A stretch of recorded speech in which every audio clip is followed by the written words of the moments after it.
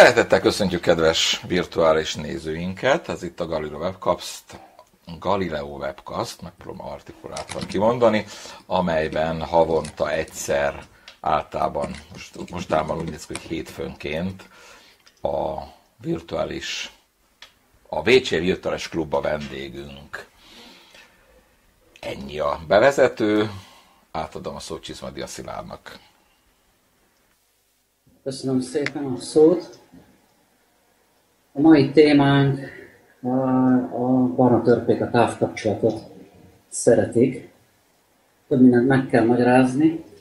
Először is szeretném felhívni a figyelmet arra, hogy a barna törpék nem először fordulnak elő a virtuális csillagászati klubunknak a repertoárjában. 2014. január 22-én Hegyi Norbert már tartott egy előadást Exotikus naprendszerek címmel, és ott ejtett jó pár szót a, a barna törpékről. A másik dolog, amit meg kell magyarázni, hogy hogy kerültem én kapcsolatba a barna törpékkel.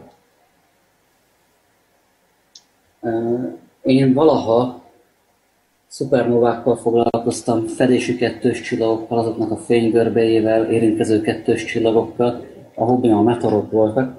Aztán átváltottam az exobolygók témakörére, és itt óhatatlanul előkerültek a barna törpék. Hogy hogyan azt a következő diák fogják szemléltetni. Ugye a barna törpék azok egy nagyon furcsa objektum típust reprezentálnak. Gyakorlatilag határeset a bolygók és a csillagok között. De csillagászatban megszoktuk már, hogy nem pontosan, nem pontos határok, nem élesen definiált határok vannak a különböző objektum típusok között. Például egy 100 vagy 200 méteres kőzet anyagú kis sziklát egyaránt tekinthetünk meteoroidnak, vagy kisbolygónak is. Ugyanígy, a, hogy a meteoroidok és a kisbolygók közötti határ elmosódott, ugyanígy elmosódott egy kicsit a határ a bolygók és a csillagok között is. A kettő között vannak a barna törpék. Az óriás bolyok azok elég egyértelmű égítés típust képviselnek. Az óriás bolygókban nem zajlik bennük magfúzió természetes úton. A mi naprendszerünkben óriás bolygónak számít például a Jupiter vagy a Saturnus, ugye főként hidrogénből állnak, kisebb részben héliumból, és bennük a hélium az nem egyesül, a hidrogén nem egyesül héliumnak. A csillagok, amelyeket itt az ábrán a jobb oldali piros kör reprezentál, azok viszont hosszú időn keresztül hidrogént égetnek, itt az égetést az idézőjelben kell érteni, ez egy csillagászati kifejezés a magfúzióra, négy hidrogén atommag fúzionál egy hélium 4-es atommaggá különböző lépéseken keresztül. Ez elég hosszú ideig tart, millió éveken vagy akár milliárd éveken keresztül is. Ez jelzi az M év, ami millió évet jelent, vagy a G év, ami giga éveket. A bolygók és a csillagok között a barna törpék helyezkednek el tömeg szerint, amelyekben rövid időre, csillagászati értelemben rövid időre beindulhat a, az égés folyamata, legfeljebb százezer évre, ez a kilóév, és vagy deutérium találkozik hidrogén atommaggal, és akkor hélium 3 keletkezik bennük, vagy lítium atommag találkozik, és akkor keletkezik e, hélium 4. A pontos tömeghatárok azok valójában ismeretlenek, voltak jó ideig. Végül is 2011-ben Spiegelék tisztázták, hogy nem egy éles 13 Jupiter tömegnél húzódó határ van az óriás bolygók és a barna törték között, hanem a kémiai összetétel függvényében 11-16 nap tömeg között indul be a deutérium rövid tartó fúziója. A felső tömeghatár az pedig barafék meglátása szerint olyan 75-80 Jupiter tömegnél van, és a deutérium lítium határ az 65 Jupiter tömegnél húzódik, bár ez még csak előrejelzett, ezt nem figyelték még meg. Ez alatt deutérium és hidrogén egyesülne hélium 3 már e felett pedig lítium és hélium atommagok hélium 4 A következő diát kérném. A csillagászati értelemben azért a barna törpék nagyon rövid ideig fúzionálnak. Gyakorlatilag ez egy meteora élettartománynak a kétszeres, ez a százezer éves csillagászati idős skálán semmi. A barna törpéknek a létezését elméleti úton jósolták meg a 60-as, 70-es években, akkor, amikor azt a kérdést vizsgálták, hogy mennyi lehet a legkisebb tömegű csillagnak a tömege, amely még hidrogén fúziót képes fenntartani hosszú milliárd éveken.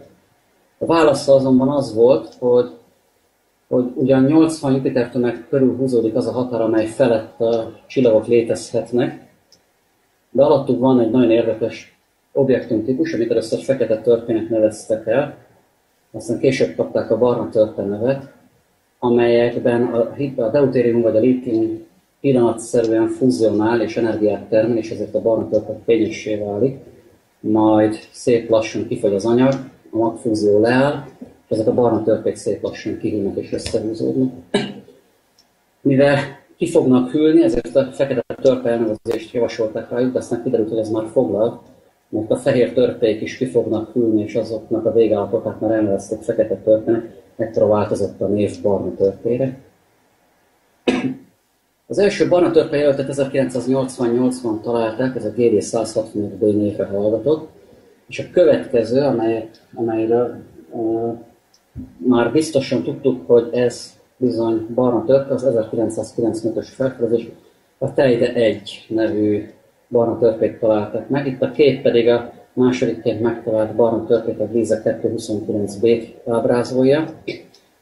A, na, az alsó képen a balra lévő nagy folt, egy körnek a darabja, az a Gliza 229-szerű csillag, és mellette jobbra látható egy apró fényfolt, ami elmozdul időben, a hónapok, évek során, az a 229b, ez egy barna törpemért csillag körül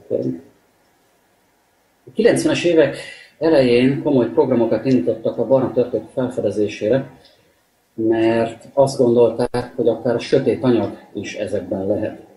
Mi egy kicsit maradjunk a 229B, nézd a 229B ábrázoló képnél. A galaxisokban a világító anyag az csak kb. 10-20%-át teszik ki a gravitáló anyagnak, gravitációs hatása van valamilyen anyagnak, ami körbeveszi és áthatja a galaxisokat, de ezt nem látjuk, és sokáig azt gondolták, hogy azért nem, mert túl halvány ahhoz, hogy észrevehessük. Akkor gondolták azt, hogy esetleg ilyen barna törpékben van ez az anyag, ezért az OGLE vagy a MACSO vagy más programok mikro, gravitációs mikrolencsékkel próbálták felfedezni ezeket a barna törpéket, és meghatározni a bennük lévő sötét anyag tömegét. Végülis alig találtak barna törpét az eltelt 10-20 év alatt, és ez azt mutatja, hogy a sötét anyag az nem a barna törpékben van.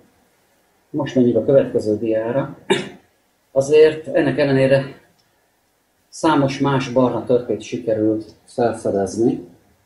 Én 2015. június 14-én néztem rá utoljára a Johnston féle barna törpe katalógusra, akkor ott 2179 darab barna törpe volt már felsorolva. Az első 95-ben fedezték fel, azóta 20 év telt el, tehát azért szépen megnövekedett a barna törpeknek a száma.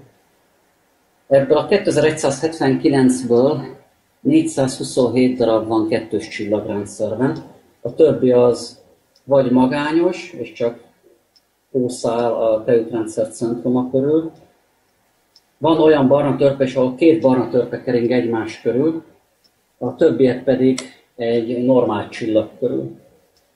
Egy tavaly megjelent Ma és Cseh által írt tanulmány szerint azonban a 422-es csillagrendszerbeli törpe, barna törpe közül mindössze 65 kering a csillagához, kettő csillagászat egységnél közelebb. Ez azt jelenti, hogy a többi 350-nél is több van a törpe, az viszont két csillagászat egységnél távolabb kering a központi csillagától, vagyis hosszú periódus idejű pályákat futnak be. A legtöbb barna törp az, az a Mars pályájánál is távolabb keringene a csillagánál, mint hogyha a, a naprendszerhez viszonyítjuk. És ebből a 65 közeli barna törpe közül 9 vagy 10 törpe van egyben fedési rendszerben is, Azért mondom, hogy 9 vagy 10, mert az egyikről nem lehet eldönteni, hogy barna törpe, vagy már M-típusú csillag. az itt az ábrán fel is van tüntetve, KOI 189B névre hallgat, a tömege 78 plusz 5 Jupiter tömeg, azaz, hogyha fel, a hiba határokat is figyelembe veszük, akkor akár meg is haladhatja a tömeg a 80 Jupiter tömeget, és akkor már csillagnak számít, de az is lehetséges és valószínű, hogy 80 Jupiter tömeges határ alatt van, akkor pedig barna történik számít. Itt az ábrán a vízszintes tengelyen a tömeg van feltüntetve, a függőleges tengelyen pedig a sugár. Csak fedési rendszerben előforduló barna törpékre tudjuk mind a két mennyiséget megmérni, a többiekre csak a tömeget, vagy még azt sem. Itt az ábrán a két piros, függőleges piros vonal jelzi a 13 és a 80 Jupiter tömeges határt. Lehet látni, hogy a két határ közé nagyon kevés barna törpe esik, amely közül néhány a Kepler felfedezése, néhány a koróműhold felfedezése, vagy a Kelt 1B, vagy a VASP 30B, azok pedig a Földről történt felfedezések. De ez a kettő piros vonal között nagyon-nagyon kevés objektum fordul elő.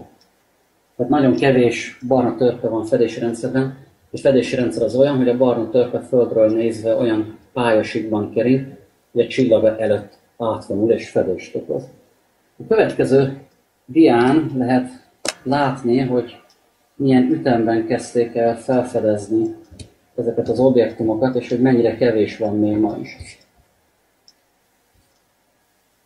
A bal felső ábrán az a tömeg sugár diagram van megismételve, a különböző vonalak pedig a különböző korú barna törpék tömegsugár kapcsolatát mutatja be, fölülről lefelé haladva egyre idősebbek a barna törpék, tehát ott valahol 60-70 Jupiter tömeg között egy minimumot ér el a sugarok, csak 8 tized Jupiter sugár méretűek lesznek.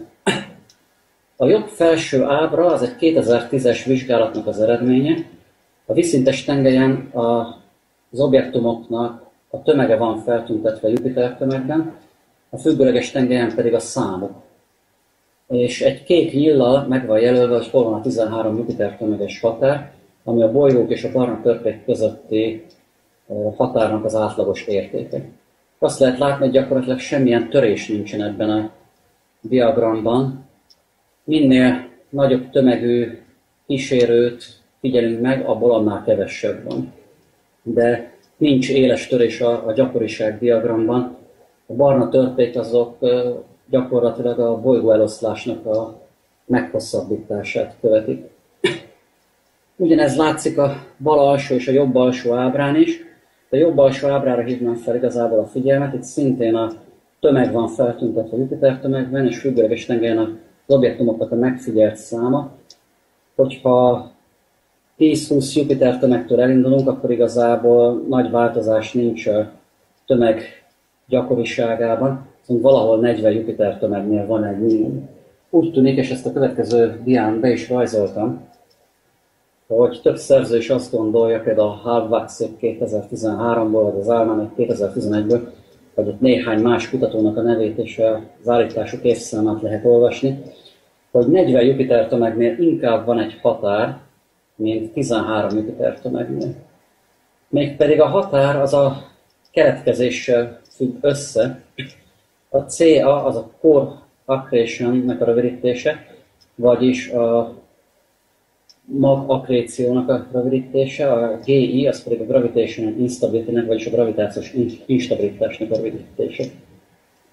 Különböző elméleti számítások arra utalnak, hogy 40 Jupiter tömeg alatt a bolygók és a barna törpék úgy keletkeznek, hogy kialakul egy néhány száz méteres vagy néhány kilométeres bolygó kezdemény, amely elkezdi magához vonzani a környező bolygó kezdeményeket, port és gázt, és ezt gyűjti szépen lassan magába.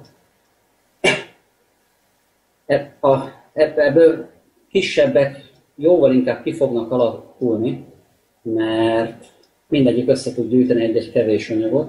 Nagyobbak viszont ritkábban fognak kialakulni, mert egyszerűen elfogy a begyűjthető anyagnak a mennyisége.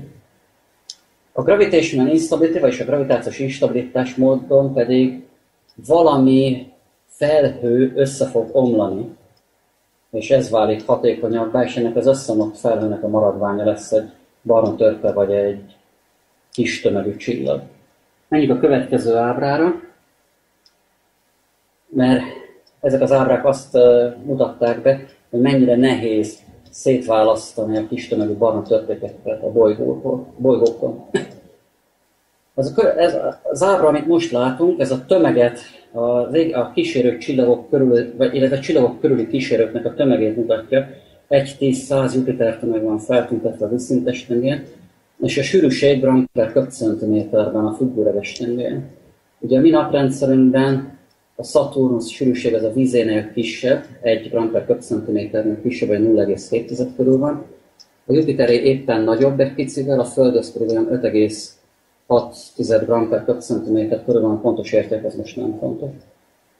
2005-ben csak annyi fedési bolygót ismertünk, ahány kis négyzet van ezen az ábrán, és 2010-re ezeknek a száma jól megszaporodott, és feltűnt 20 Jupiter tömeg körül az ábrán a legjobb oldali, legmagasabban lévő pont. Az a Koró 3B, az volt az első felfedezett exobolygó, amely fedéseket mutatott. Rögtön ki is tört a vita, hogy ez exobolygó, vagy már barna törpe, attól függően, hogy hogy alakult ki, és volt-e benne valaha deutérium Ma már inkább barna törpének sorolják, de a, már csak a tömege okán is, mert 22 Jupiter tömegű, de akár bolygó is lehet, hiszen a legfrissebb számolások szerint még ez a 16 Jupiter tömegű hatás sem teljesen biztos. A következő ábra pedig azt mutatja, hogy hol járunk 2015-ben, óriási a változás, sokkal több pont feltűnt, és most már 100 Jupiter tömeg alatt is jó néhány pont van, meg 10 és 40 Jupiter tömeg között is. Vagyis ott, ahol eredetileg nem voltak méréseink, nem volt felfedezett objektum, az az utóbbi öt évben elkezdett benépesülni. Úgyhogy most már érdemes vizsgálni ezeknek az objektumoknak a tulajdonságát, bár még mindig csak 10, kb. 9 vagy 10 olyan objektumra tudjuk a tömeget, a sűrűséget, a sugarat, amelyek a barna törpe tartományban keringenek. Úgyhogy nagyon-nagyon kevés barna törpére ismertek ezek a mennyiségek. Mondjuk a következő diára.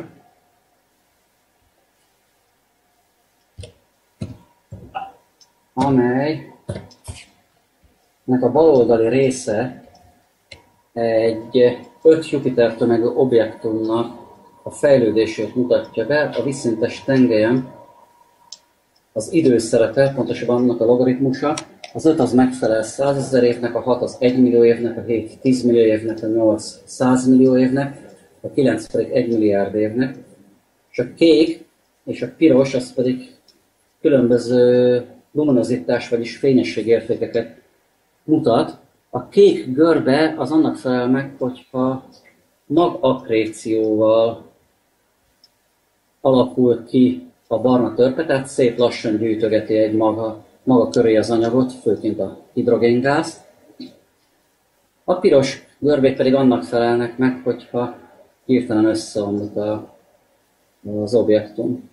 Lehet látni, hogy igazából, ha már nagyon idős az égitest, akkor a luminozitása, vagyis a fényessége az ugyanaz az értékhez tart. Igazán jelentős különbségek csak az első körülbelül 10 millió évben vannak, és a nagyon jelentősek csak az első 1 millió évben.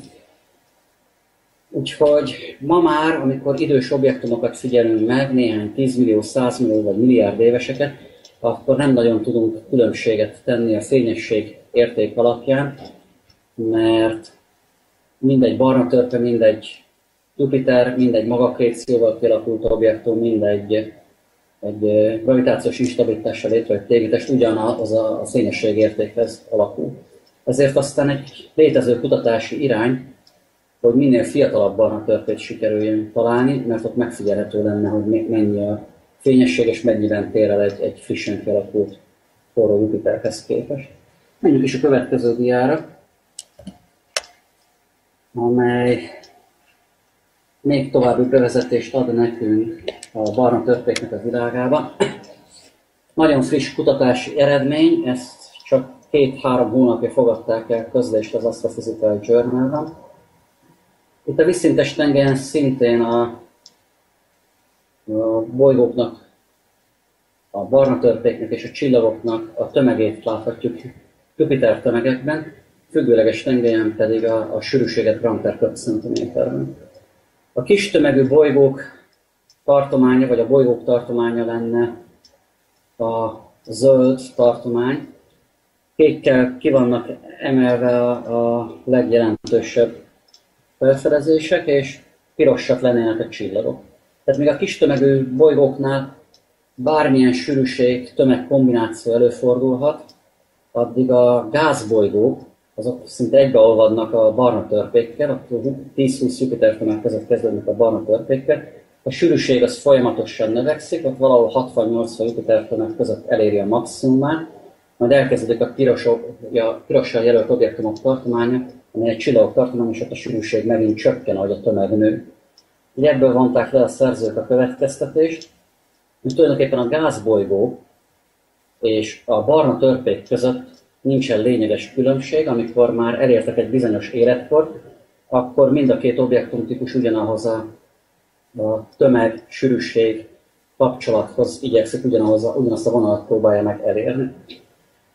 Ennek a cikknek a végén egyetlen egy személynek mondanak köszönetet, nekem, de én úgy érzem, hogy ez büntetésként kaptam ezt a köszönetnyilvánítást, mert amikor a kéziratot láttam, én olyan hevesen kritizáltam a kéziratot, hogy annak alapján itt-ott változtattak a, a kéziraton, hogy jobban megválaszolják a felvetésemet, de szerintem ezt én még mindig nehezen tudom elfogadni, hogy, hogy a barna törpékben a időleges, epizódszerű magfúzió léte ennyire kevésbé számítson, hogy a két szerző javaslatára a barna törpéket egyesíteni kell a gázbolygókkal, és tulajdonképpen egy osztálynak kell kezelni őket. Viszont a második szerző az az én főnök asszonyom, úgyhogy ő állítja, hogy a barna törpék azok tulajdonképpen a bolygókkal azonos tulajdonságokat mutatnak a kezdeti magfúziótól eltekintve, de később ugyanúgy fejlődnek, mint hogyha Jupiter-szerű bolygók lennének. Hát így kerültem én kapcsolatba a barna törpékkel. A következő ábra megint csak megerősíti a hitünket, hogy miért kell egy exobolygásznak a barna törpékkel foglalkoznia. Ami új barna törpéről szó van, az egyébként a Koró 33B jelölést kapta, és egy, egy új fedésű barna törpe. Itt a szán az a napot jelöli. A naphoz képest egy kis tömegű csillag vörössel foglal helyet, hát jóval kisebb, mint a fehéres nap, és egy barna törpe, vagyis Brown Dwarf, az kb. a Jupiter méretével megegyezik. Úgyhogy amikor mi észlelünk egy fedési fénygörbét, akkor pontosan ugyanannyi akkor a fénycsökkenést tapasztalunk, mint ha azt egy Jupiter-szerű bolygó okozta. Tehát magából a fénygörbéből, amikkel én is foglalkozom, nem lehet különbséget tenni azonnal, hogy ezt egy barna törpe okozta-e a jelet, vagy egy Jupiter-szerű bolygó. Meg kell mérni a tömegét, és majd csak a tömegmérés függvényében lehet eldönteni, hogy melyik kategóriába tartozik az újonnan felfedezett objektum. Erre mutatok példát a következő ábrákon. És aztán, hogyha valaki egy barna törpét fedez fel, akkor természetesen nem tartja meg magának, hanem teszi. Teljesen nyilvános, hogy ez a Pro 33 hol foglal helyet az égbolton, ami be van keretezve adat, az a vörös sávban mér fényességet. 14,25 magnitudos csillagról van szó, vagyis egy relatíve halvány égitesten sikerült egy tranzitot detektálni, amit a következő ábrák be is fognak mutatni, amiket kérnék is. Ez a kereső térkép, amit most lehet látni, itt a nullával középen megjelölt objektum maga a Koró 33, és a környező cikcakos, folytonos vonalal megjelölt tartományból származó fényességet mérte meg a koró, és itt a pirossal megjelölt csillagoknak a hatását, a fényességmérés azt szabályszerűen le is vontuk. Ezek el lettek távolítva, így kaptuk a következő ábrán található jelet, amely 5,8 naponként ismétlődik, tehát ennyi a barna történet a keringés ideje. És a jel az tipikusan egy forró Jupiterre utalt. Ezt a jelet most mindjárt meg is mutatjuk, amint a dia vált.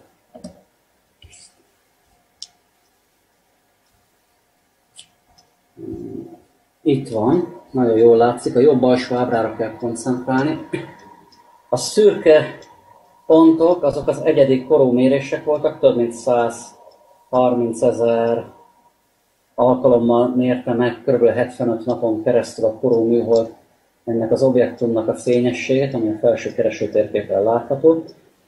És hogyha átlagoljuk a fénygörbét nagyjából néhány percenként, akkor a sötét vonallal kapott jelet fogjuk kapni, ami még mindig elég zajos, de ott látszik, hogy periódikusan lecsökken a fényessége néhány naponta. Van egy, egy mélyebb jel, ami a periódikusan fel van tekerve. Ez 1,4 óra hosszan tart, és 0,28% mély fedést jelent. Mi magáról a csillagról annyit lehet tudni, bal oldalt vannak az adatai. Azt határoztuk meg róla, hogy ez egy G95-ös szintétípusú csillag, vagyis a napnál mint egy 500 fokkal hűvösebb csillag, de fősorozati csillag.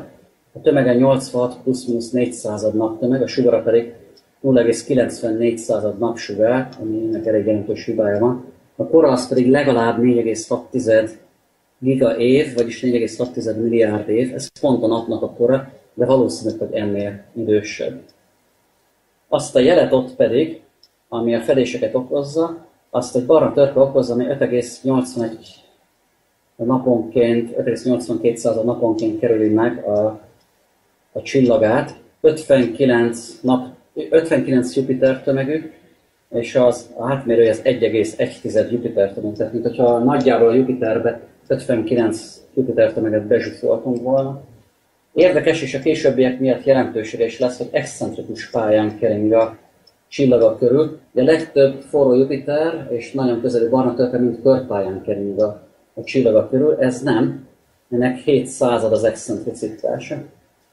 Ami nagyon érdekes, az az, hogy itt az szürkével ki is van emelve, az FH értéke az 0,44. Ez az FH, ez az úgynevezett vas index, és azt adja meg, hogy a vas tartalom mennyi a hidrogén tartalomhoz képest egy logaritmikus skálán.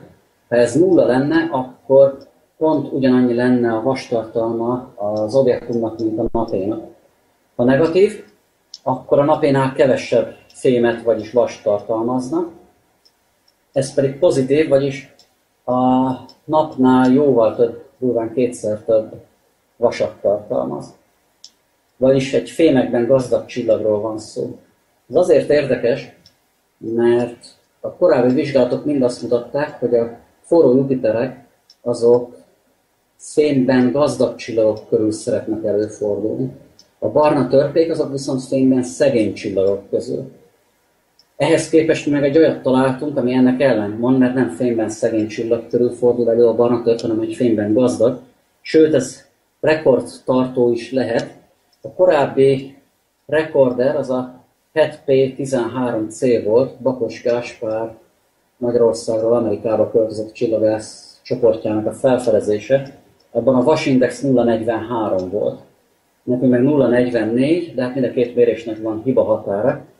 Tehát ugye a HET-P13C azt radiális sebességgel módszerrel találták, az nem mutat fedéseket.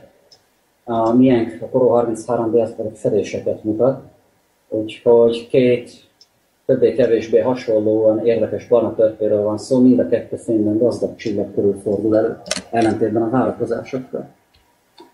A következő ábra az az általunk mért radiális sebességgörbe időbeli lefolyását mutatja. A felső görbén az nem pontosan egy színuszos változás, jó szemek észrevettek, egy picit eltér a színusztól. Az alsó görbén pedig azt lehet látni, hogy a illesztett folytonos vonaltól mennyire térnek el a mértpontok. Egyébként itt két csúcsműszerről van szó. A HARPS az a nagypontosságú radiális sebességgörbe módszerrel bolygókat kereső műszernek a rövidítése. Ez egy spektrográf, amit a Csillében lévő La Silla hegycsúcsra telepített 3,6 méteres távcsöretet tett fel. Ez a legsikeresebb bolygókereső spektrográf, egyben a legprecízebb, és hát jól lehet látni, hogy a pontoknak gyakorlatilag nincs is szórása. A fész az pedig egy másik távcsövön van, és szintén nagyon pontos méréseket tesz lehetővé, és azt is a déli földeken lehet megtalálni. Ugye jól lehet látni, hogy ebből a tömeget jól meg lehet határozni, nagyon pontos mérésekről van szó. A következő dia, az pedig a mi barna történket horzó csillagnak a fénygörbéje. Egy eléggé érdekes fénygörbéről van szó, először a felső ábrára kellene koncentrálni. Itt az idő van feltüntetve napokban, és a csillag fényessége függőleges tengeren. A kezdetben 8 percenként készültek a pontok, azért vannak ritkásabban, aztán hirtelen ott 5400. nap előtt egy kicsivel az expozíciós időt átváltották 32 másodpercre mérnökök, hogy pontosabb adatokat, le, jobb időfelbontással legyenek adatok nyerve erről a csillagról, de ugye szórás is megnőtt. A piros görbe az egy simított, átlagolt fénygörbe, hogy a csillagnak a fényesség változásait jobban ki lehessen emelni. Valamiféle periodicitás, valamiféle szabályszerűség látható ezen a görbén. Nagyon jól látszik, hogy kb. 9 naponta csúcsokat ér el a fényesség, és utána mindig egy ilyen következő mellék maximum, kisebb maximum van a fénygörbén. Ennek a nem teljesen szabályos változásnak az oka az, hogy a csillag felszínén foltok vannak, és ahogy a csillag forog, a csillag fényessége változik. Amikor a foltot látjuk, akkor az sötétebb, mint a többi felszín, és ezért a csillag fényessége lecsökken. Amikor pedig a folt, nagyobb folt átfordul a túloldalra, amit tőlünk nézve nem lehet látni, akkor pedig a csillag kifényesedik látszólag, és ez ismétlődik.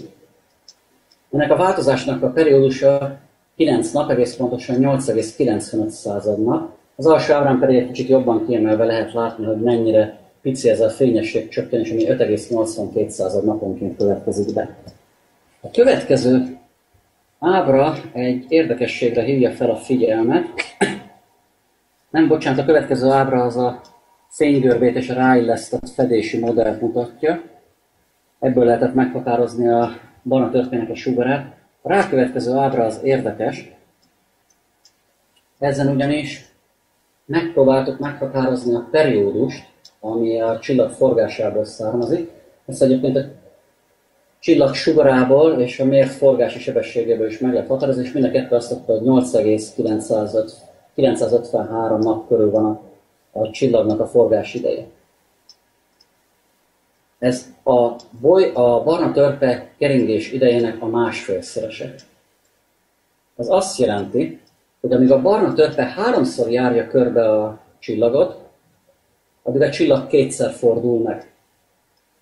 Ilyet korábban nem nagyon láttak, hasonlóra azonban van példa a mi naprendszerünkben. A Merkur keringés ideje és forgás ideje között van egy hasonló 3-2 arányú rezonancia. Itt meg a csillag és a barna törpe között látunk egy hasonló rezonanciát. Az az izgalmas, hogy ez nem csak a mi rendszerünkben történik meg, a következő dián felsorolunk néhány hasonló rendszer. Forró Jupiterekben nagyon érdekes hasonló rezonanciákat figyeltek meg. Például a HET-P11 rendszerben, amiben a csillag egyszer fordul meg, addig a bolygó hatszor jár körbe. A Kepler 17D-ben amivel a csillag egyszer megfordul, addig 12-szer jár körbe a bolygó. A Koró 2B-ben egy teljesen furcsa rezonancia található, ötször fordul meg a csillag, amíg a bolygó 13-szor jár körbe. A Koró 4B-ben egy az egy az ilyen rezonancia, és ott van még néhány más eset felsorolva. A mi esetünkben, ami már nem forró Jupiter, hanem egy barna törpe, ott kétszer fordul meg a csillag, amíg háromszor jár körbe a barna törpe, a mi csoportunk talált egy eh, másik érdekes kettős csillagot, ahol F színképosztályú csillag körül egy törpe M csillag kering, és ott, amíg az F típusú csillag egyszer fordul körbe, addig kétszer jár körbe az M típusú kettős. Ilyen egy-kettő arányú rezonanciát tudtam már előtte, még nem találtak kettős csillagokban. Viszont nagyon-nagyon-nagyon sok kettős csillag létezik, ahol a forgásidő és a keringés idő az már szinkronizálódott, tehát egy az egy arány rezonanciát figyelhetünk meg.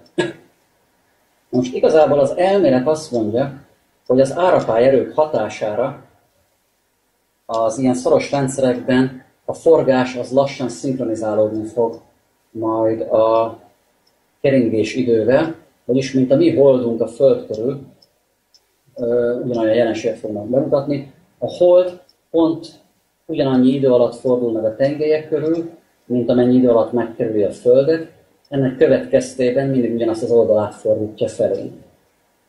Például a Tau Boltisban, a Korona 4B-ben, vagy nagyon sok kettős csillagban ilyen történik, és ez lesz a végállapot.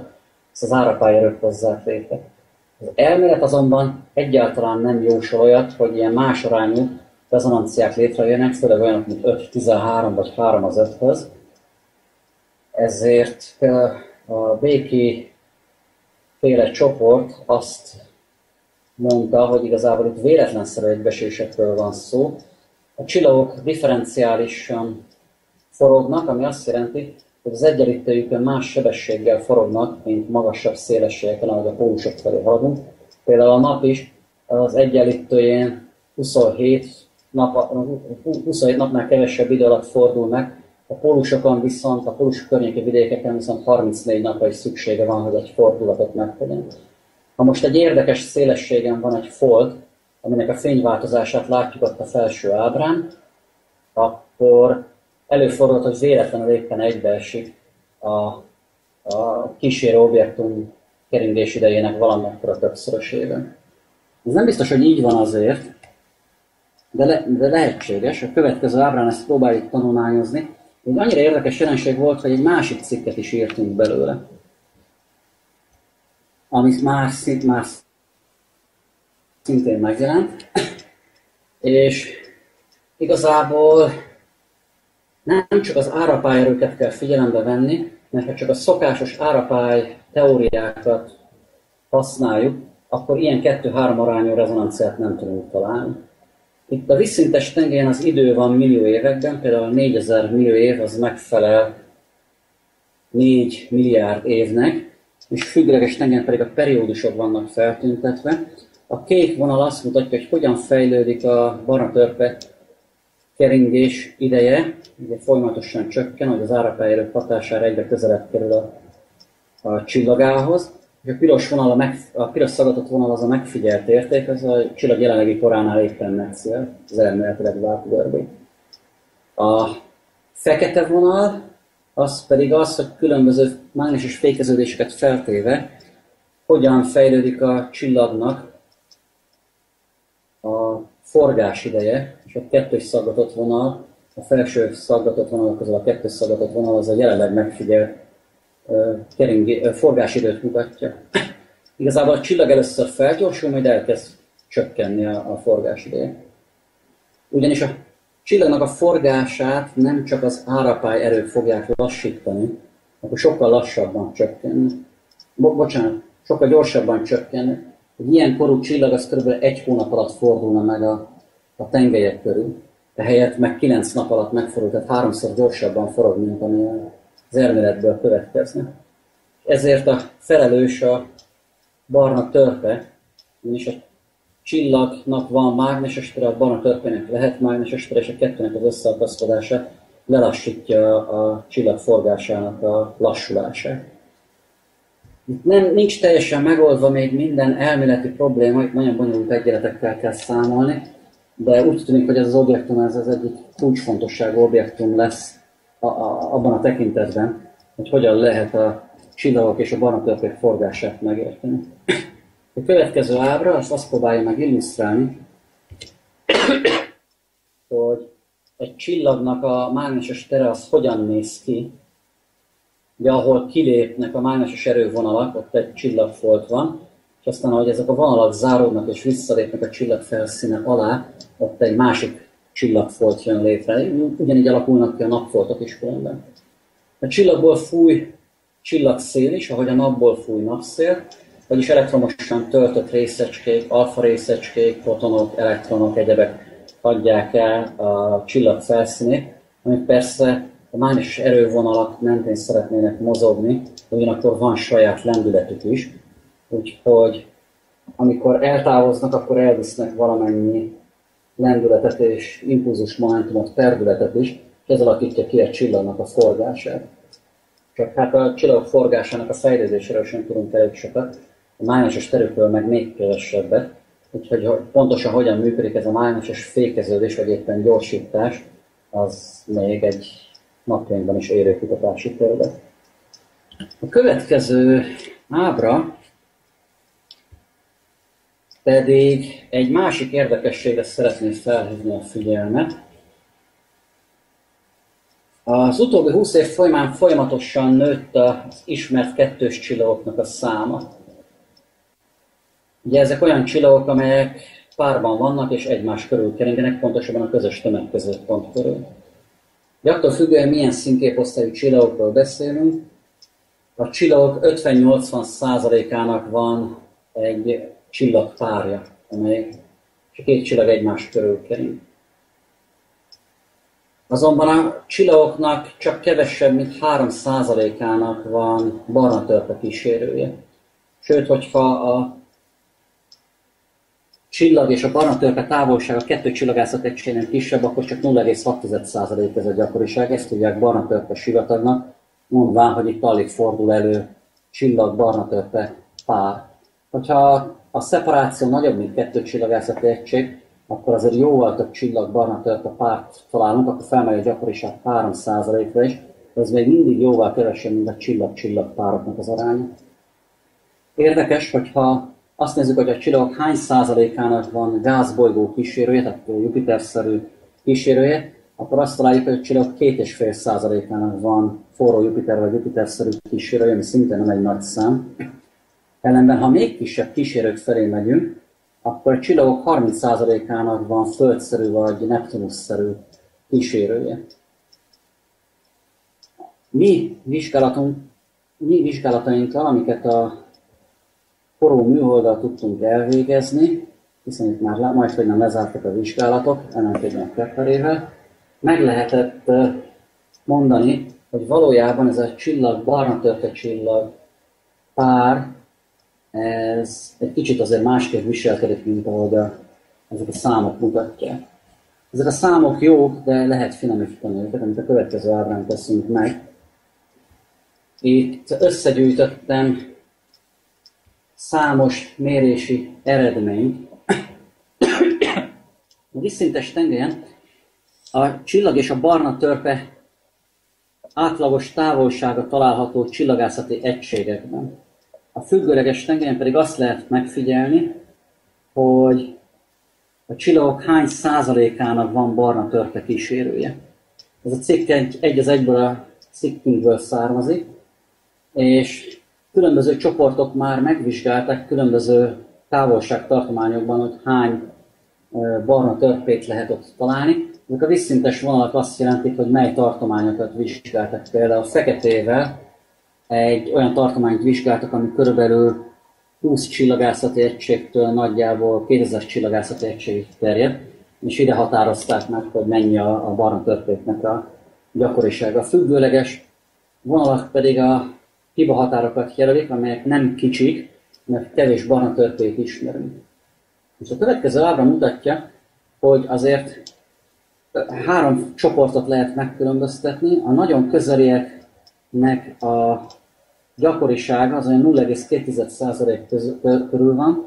Ez az, amit a mi csoportunk határozott meg idén. A középső csoportnak a gyakorisága már majdnem eléri az 1%-ot, és a legtávolabb keringő barna törpéknek a gyakorisága pedig olyan 3-4% körül van. Ezt akár egy egyenessel meg is lehet illeszteni, ami még jobban kiemeli ezt az összefüggést, amit a következő ábra meg is mutat. Egyébként ugye itt a keringésidők úgy értendők, hogy a egy tized csillagászati egységnél is közelebb, tehát az ábra bal oldalán, ott néhány napos keringésidőkről beszélünk. Ott egytől tíz csillagászati egységig terjedően a keringésidők olyan egy és 30 év között vannak, ott az ábra jobb oldalán pedig 100 1000 csillagászati egységig terjedően a keringésidők tekintetében olyan, olyan több száz évekről beszélünk. És ez az az egyenes vonal az, amit én úgy nevezek, hogy a barna törpék a távkapcsolatot szeretik.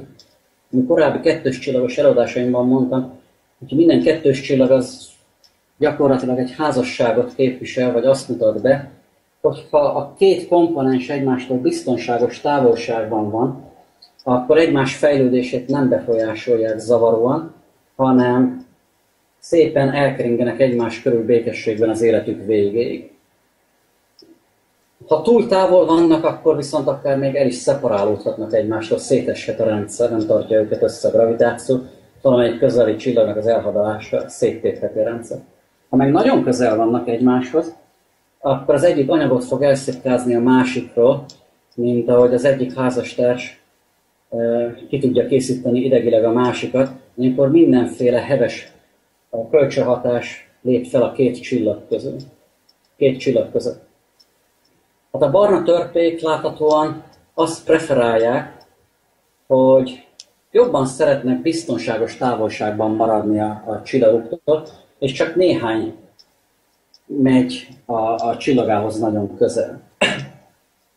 Ez egy olyan összefüggés, amelyet tudtunk, hogy senki nem publikált korábban. Ezt először mi gyanítottuk, azt azért nem mertük leírni, hogy ez tényleg így van, mert a hiba határok minden mérés esetében elég nagyok. De mintha csak valami tendencia látszódna, hogy a barna törpék a távkapcsolatot szeretik, jó távol akarnak lenni a, a csillagoktól. Most átfordítva ezt egy tudományos kérdésé, meg lehet kérdezni, miért van ez? Miért van egy csomó forró Jupiter közel néhány napos pályán a csillagához, és miért nem szeretnek ott lenni a barna törpék? Az egyik válasz az az, hogy azért, mert barna törpék nem alakulnak ki. Ezt persze lehet mondani, de az elméleti számítások szerint 40 Jupiter tömegig bizony sok-sok barna törpe fog keletkezni. A következő ábra mutatja azt, hogy mit mond az elmélet ezekről a, a kérdésekről. Ez egy születőben lévő bolygórendszert ábrázol. Exo üstökösök hullanak be a központi csillagba, a csillagot körülveszi egy nagy anyagkorong, amelynek itt-ott már vannak bolygói, mások még csak sűrűsödnek össze az égitestek, és alakulnak ki a bolygók, a plantezimáloknél a kis bolygók. Az anyag közben hullik be a csillagra. Amikor egy bolygó itt kialakult már, és a korong még ott van, ez a protoplanetáris korong még ott van, akkor a bolygó az ütközik ennek a ködnek a por és gáz részecskével, és azon le fog lassulni, hiszen mi is gyorsabban futunk a levegőben, mint ahogy úszunk a vízben, mert a víznek nagyobb az ellenállása. Emiatt egy fékező hatás fog fellépni, amely lefékezi a bolygónak a mozgását, emiatt az közele fog kerülni a, a csillagához. Amikor az közelebb kerül, akkor egészen addig közelebb fog kerülni, ameddig ez a fékező hatás ezt tart. Ezt hívják vándorlásnak vagy migrációnak. Így olyan bolygók, amelyek akár 5-10 csillagászat egység távolságban alakulnak ki, gázbolygók, azok közelebb tudnak kerülni a, a csillagokhoz. Igen ám, de a csillag az szép lassan kifújja ennek a protoplanetáris korongnak a gáztartalmát, és a középen lévő lyuk az egyre nagyobbá fog válni, és amikor a bolygó oda elér, akkor már nincs más, ami a mozgását befolyásolná, és akkor ott el fogja érni a végleges pályasugarát. Nem fog beljebb kerülni. Az elmélet szerint a barna törpékre ez a migrációs hatás sokkal nagyobb, a nagyobb tömegük miatt, mint a Jupiterekre. Emiatt ők nagyon gyorsan befelé fognak menni, és legvalószínűbb az, hogy annyira, be, annyira gyorsan bemennek, hogy a csillagok el fogja nyelni őket. Hogyha elnyeli őket, akkor természetesen már nincs ott barna törp, amit megfigyelhetnek. A forró Jupiter az viszont később kerül oda, mert az lassabban végzi ezt a vándorlását. A következő ábra ugyanezt szeretné illusztrálni. Ott már nagyobb méretű ez a belső lyuk, ott ez a csillag már jobban kifújt a a protokolátáris körnek a maradványait maga körül, ez már csillagként világít, és néhány bolygó itt ezen a fantázia rajzon feltűnik, azok már elérték a végleges helyüket. Ha ez így van, akkor lehet érteni, hogy a barna törpékből miért figyelünk meg kevesebbet, de itt van egy nagyon nagy ha, mert egész egyszerűen a, ennek a vándorlásnak, ennek a migrációnak a részleteit nem nagyon értjük. Igazából a modellekből sok mindent ki lehet hozni, csak azt a boly, megfigyelt bolygóeloszlást nem, amit megfigyelünk bolygósugár távolságeloszlást. Úgyhogy lassan el is értem az előadásomnak a végére, amiben ezt a friss kutatási eredménynek mutatom be az Egyesület stadtársainak. A következő ábra azt mutatja,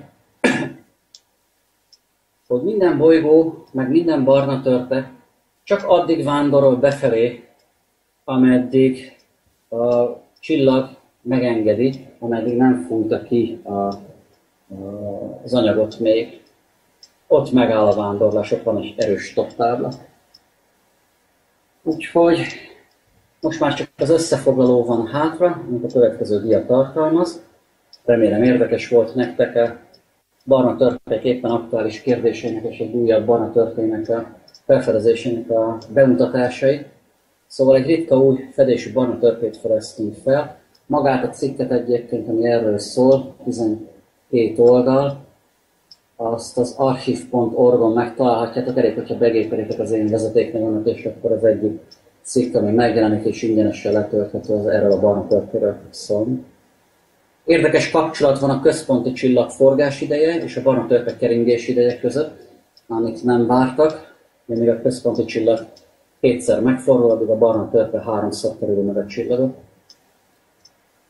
Új eredmény, amit eddig nem ismertek, hogy a barna törpe csillagok gyakrabban fordulnak elő tágrendszerekben, mint szoros rendszerekben, és ez biztos, hogy valahogy összefüggésben áll a csillag és bolygó keretkezési elméletekkel, de nem világos, hogy hogyan de nagyon valószínű, hogy a barna törpék azok annyira gyorsan vándorolnak befelé, hogy végül aztán a csillagok elnyeri őket, és ezért nem figyelünk meg olyan sok közeli barna törpe csillagot. Úgyhogy ez a barna törpe sivatag, ez kezd benépesülni, kezd eltűnni, de a fedési barna törpék továbbra is nagyon ritkák, és nagyon nagy szerencse kitartás, és sok munka kell, hogy valaki találjon egy ilyet, és tanulmányozhassa a részleteit. Én itt be is fejezem az előadást, nagyon szépen köszönöm a figyelmeteket, és hogy megismertethettem veletek ezt a friss kutatási eredményet.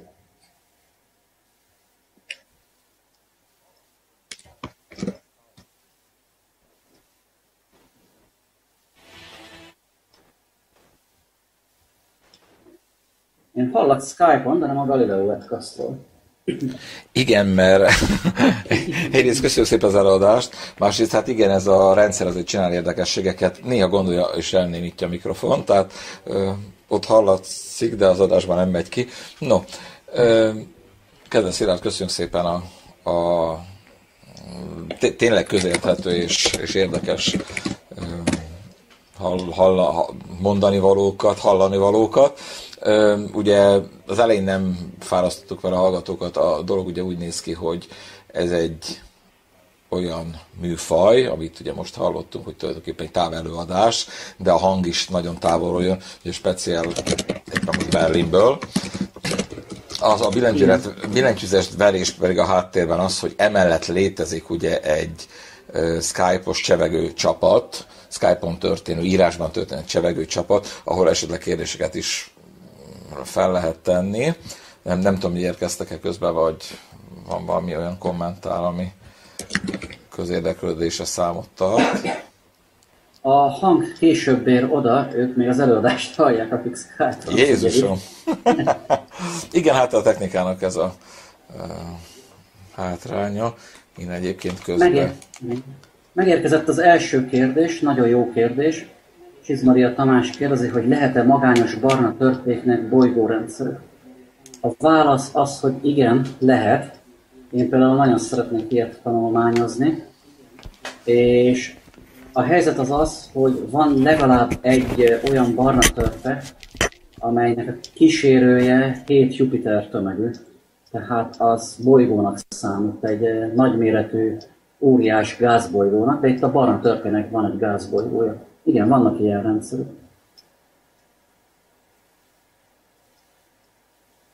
Sikeres előttem egy pillanatra a mikrofonomat. Most éppen Igen, most... és még az, az a kérdés, hogy ugyan feltettek egy kérdést, de még mindig hallgatják az előadást. Ekkora a késés. De ez nagyon érdekes, szó. ez nagyon érdekes. Hát ugye pár szóval megtréfált minket a technika, ugye a legutóbbi eladáskor gyakorlatilag abszolút nem működött az egész világon a rendszer, úgyhogy én B-tervet kellett megvalósítanunk. Öm, egyébként, hát ugye, tehát még egyszer összefoglalóul, itt a Galileo Webcaston nagyjából havonta hangzik egy-egy ilyen eladás el a VC Virtuális Csillagászati Klub keretében. Van egyébként valami terv kis előzetesként novemberre? Kérdezem. Még nincs, és csak az, hogy lesz. Lesz Virtuális Csillagászati Klub novemberben is. Amit kitaláljuk, hogy mi lesz a téma és ki lesz az előadó, a, addig felteszem itt a következő kérdéseket, amik időközben érkeznek már. Az egyik ilyen kérdés, hogy egy ilyen rendszer hogyan alakul ki, gondolom a kérdező Jandó Dániel arra érti, hogy hogyan alakul ki egy barna törpe bolygó rendszer. Valószínűleg úgy, hogy vagy nem volt elég anyag abban a kis felhőben, hogy létrejöjjön egy csillag is, bár én ezt elég valószínűtlennek tartom. Számomra sokkal valószínűbb, hogy rendesen kialakult egy csillag, barna tört a rendszer, amiben kialakult bolygó is, de aztán valahogy a rendszer szétesett, gravitációsan instabil volt, és egyszerűen a barna törpe elszakadt egy ilyen bolygóval. Ugye nagyon sok bolygószórási jelenség bekövetkezik a nagyon fiatal bolygórendszerekben. Egyszerűen a kölcsönös gravitációs perturbációk miatt az egyik bolygót kidobják, vagy akár egy, egy bolygó holdrendszert kidobnak, tehát lehet, hogy itt a barna törpe bolygórendszert, azt, azt Fold bolygórendszernek kellene nézni. A másik kérdés Hegyi Norberttől, hogy lehet-e egy barna törpe körül folyékony vízzóna, vagy más néven lakható zóna, és hogy abba kering egy bolygó, akkor az lehet-e lakható? A válaszom az az, hogy igen, van egy barna törpének is lakható zónája, hiszen a barna törpe hőmérséklet a kezdetben akár betekedhet egy M törpével, aztán nagyon gyorsan kihűl és szép lassan ö, egyre hűvösebb lesz. Ezért a, a folyékony vízzóna is egyre közelebb húzódik majd a barna törpéhez. És hát például annak a barna törpének, amit most vizsgáltunk, annak a, a hőmérsékletét olyan 1200 Kelvinre becsüljük. Igazából ki lehet számolni, hogy 1200 Kelvin a, a barna törpének a hőmérséklet és egy Jupiter sugár méretű a, a, boly, a barna törpe, akkor hol húzódik a lakható zóna? Hát néhány napos időre számíthat, az, az nagyon közel van, de, de ez, ez létezik és fenn is tarthatja ezt a hőmérsékletet hosszú évmilliárdokon át. Úgyhogy például szerintem izgalmas kérdés, hogyha egy barna törpe kering egy csillag körül, de nem a folyékony víz, vagy nem a lakható zóna, zónában, akkor ő maga még a holdjának esetleg fent tud tartani egy, egy, egy lakható zónán.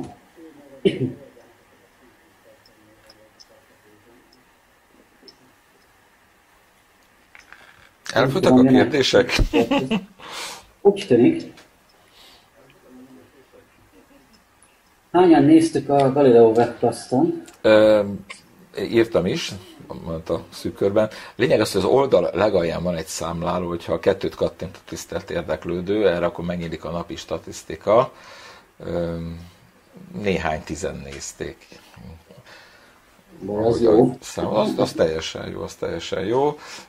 Ennél nagyobb szám, ez egy ilyen tipikus néző, nézettség, ennél nagyobb, csak ilyen egészen extra eseményekkor van a fiatkozás, fiatkozás akkor meg viszont összeomlik az egész, mert néha nem bírja, de most, most eléggé rutinosak voltunk a holdfiatkozáskor. Apropó, legyen egy kis észrelési ajánlat. A következő napokban ugye itt vannak az Orionidák, nem tudom Berlinben milyen az idő, erre fel ömlik, gyakorlatilag ilyen monszonszerűen napok, napok óta, de most úgy néz ki, hogy lesz egy pár nap, amikor remélhetőleg kicsikét nyugalmasabb idő lesz első szempontjából, kiderül az ég, jó kis szél lehet, lesz, ami ugye azért hasznos, mert hát ugye ez egy hajnali raj, tehát igazából éjfél után kell észlelgetni, hogyha leáll a szél, ennyi eső után olyan ködök lesznek, hogy órunk nem fogunk látni, tehát vagy magas hegységbe fel, vagy szeles vidékre.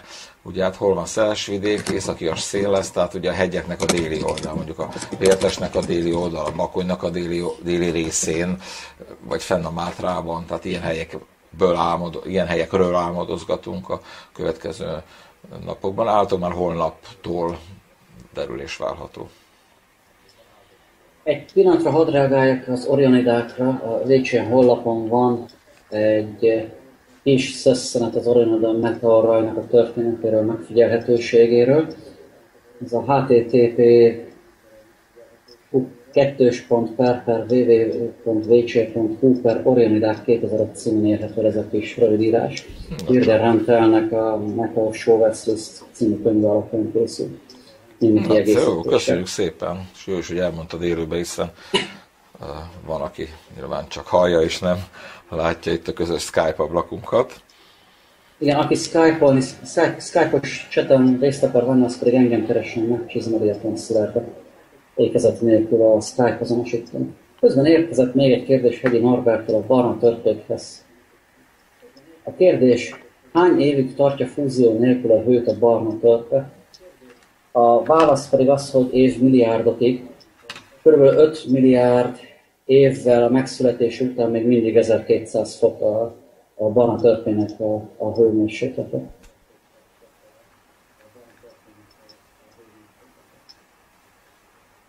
Na, elfolytak a kérdések. Vagy mindenki a Wikipédiát bújolni lehet tudni. Vagy már az archiv.org-on van. És keresik a szép kis cikkemet. Uh. Ha nincs más kérdés, akkor én egy kicsit hadd reklámozzam a VCE őszi vagy téli észtelő hétvégéjét. Vagy november 14-15-én, vagy november 21-22-én lesz, vagy december 27-én. Több időpont nem lehetséges, de, de egyelőre az időpontok változtatás, válogatásában itt tartunk. Helyileg hol? Szerintem meg a héten ki fog derülni, hogy a három lehetséges időpont közül melyikben lesz. Helyileg? Helyileg pedig Szent Kozma dombja. Kis Vilmostól érkezett még egy kérdés, de szerintem a Stepicki Istvánnak szól, és nem nekem. Mégpedig arról szól, hogy le lehet-e majd tölteni az előadást. Természetesen, sőt egészen jól állunk annyira, hogy hát már a múlt hav is felkerül, de felgyorsulnak az események, tehát nagyon rövid időn belül ö, mm, elérhető lesz az anyag. Ma jó, egy ez hirdetne szintén egy esemény. November 11-én Baján lesz a helyi csoportok egyesület egyesületek, helyi csoportok, vesző egyesületek találkozója. Ugyancsak november 11-én, ugye, mert miért ne lehessen minden mindent egy hét végére tenni. Székesfehérváron a szokásos szkeptikus konferencia, ez most már nagyon-nagyon sokadik éve zajlik. A nevével ellentétben szigorúan tudományról és érdekességekről van szó. Tudománya kapcsolatos érdekességekről, vagy, vagy tudomány nem, teljesen megzaró az elnevezés. Én, én azt mondom, hogy aki még nem találkozott ezzel a szkeptikus konferenciák fogalmával, hát keresse meg a honlapot a skeptikus. nem, www, nem. Ugye kitalálom, hogy a Fehérvári konferencia hol hirdettetik. datatrans.hu per telapó. Ugye a telapó az a Terkán Lajos Public Observatory, tehát a Terkán Lajos bemutató csillagvizsgáló, a Fehérvári bemutató csillagvizsgáló honlapja. Erre kell rákezdeni, hogy telapó, nem télapó, telapó. Kíváncsi vagyok egyébként, hogy Google-ba beírva ezt tudja-e. Na mindegy, tehát ők rendezik minden évben szkeptikus konferenciákat, és hát pont az is november 14-én erre a hétvégére esik. telapó.datatrans.hu, igen, molyó, köszi.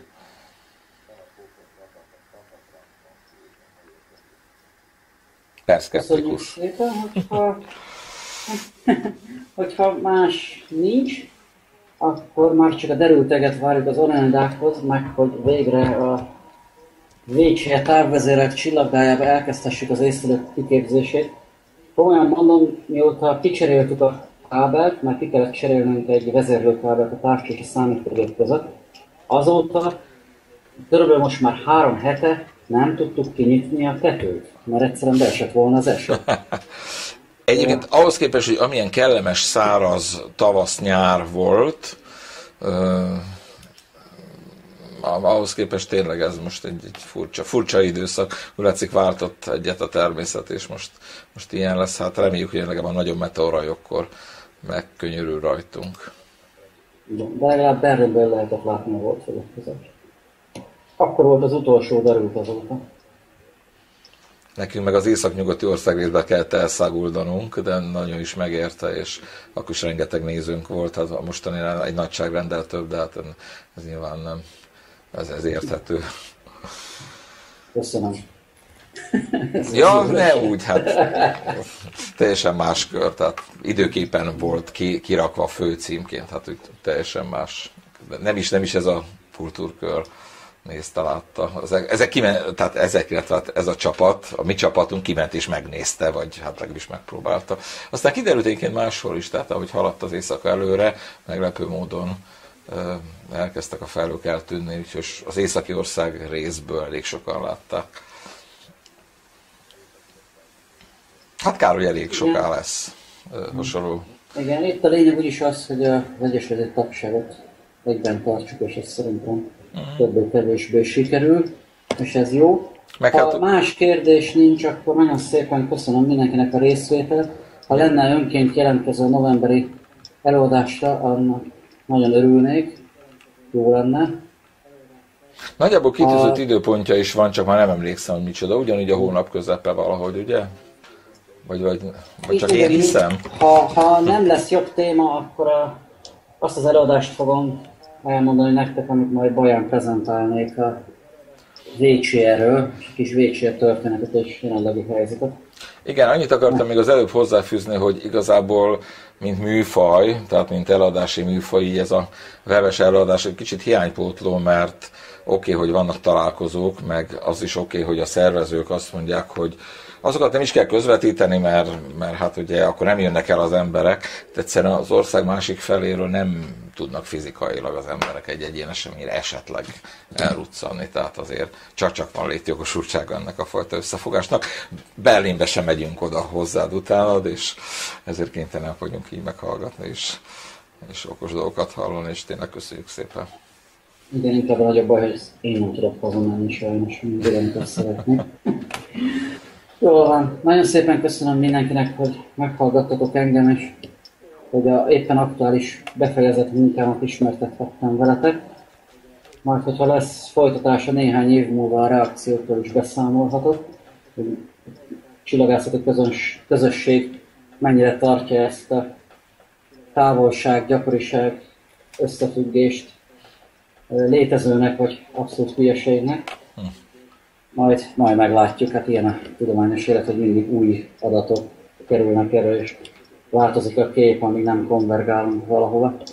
Köszönöm szépen a figyelmet nektek, viszont látásra egy hónap múlva, vagy az észlelő hétvégén vagy baján. Hello! Jó éjszakát, sziasztok!